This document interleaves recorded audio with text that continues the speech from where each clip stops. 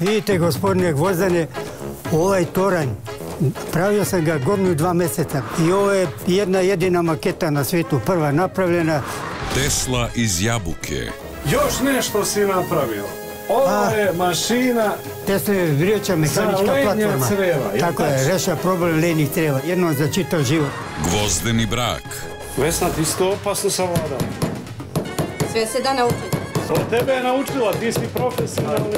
Jeste, u svakom zanatu mora neko da bude glavni. Ovdje znači stoku, a gore iznad radionice. Da, da, rađen.